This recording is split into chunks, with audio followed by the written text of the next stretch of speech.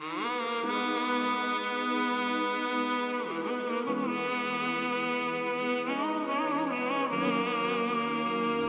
hvala i zahvala pripadaju Allahu uzvišenom, neka je salavat i salam na Allahovog poslanika i miljenika Muhammeda i na njegovu časnu porodcu, a zatim dova zauzima visoko mjesto u dini islamu, a na tu činjenicu ukazuje Kur'an i sunet Allahovog poslanika. Allah uzvišeni nam naređuje u Kur'anu da ga molimo i da ga dozivamo, da tražimo od njega, pa kaže uzvišeni Udu'uni esteđib lekum. Pozovite me i molite me, ja ću vam se odazvati. Također Allah uzvišeni postičući vjernike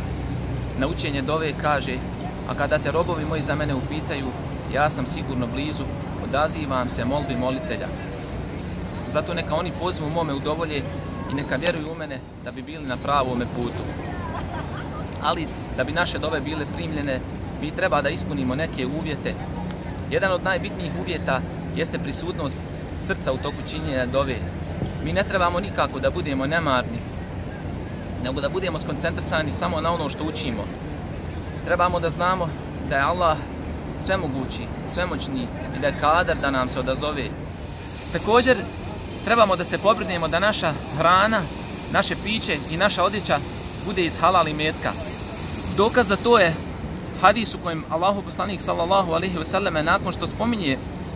neke ajete u kojima Allah Đelšanu naređuje, naređuje svojim poslanicima i vjernicima da jedu hranu iz halal i metka,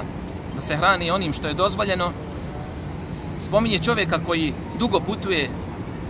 eš'athe agbera, raščupane kose, prašnjav, jemudu jedehi ile sema, diže ruke ka nebu, govoreći Ja rabbi, ja rabbi, o gospodaru, o gospodaru, moleći Allaha uzvišenog. A zatim poslanik sallallahu alaihi wa sallam kaže ومطعمه حرام وملبسه حرام وغذي بالحرام فأنا يستجاب لذلك a njegova hrana je haram, a njegovo piće je haram, a i njegova odjeća je haram, pa kako da mu se odazove?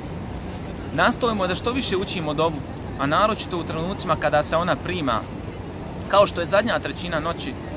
na kraju našeg namaza, nakon, donošenja, nakon učenja tehijatu i salavata na poslanika sallallahu alaihi wasallame, između ezana i kameta i u drugim vremenima u kojima je došao dokaz u hadisu poslanika sallallahu alaihi wasallame da je to vrijeme kojeme se dova ne odbija. I na kraju savjetujem i vas i sebe da se čuvamo za postavljanja strogih Allahovi naredbi i činjenja greha kako to ne bi bila prepreka u primanju naših dova.